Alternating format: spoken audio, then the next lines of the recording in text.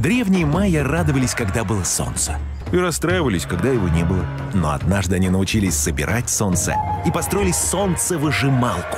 С тех пор у них всегда сохранялось хорошее настроение, и никакая очередь не могла его испортить. И нам не испортит.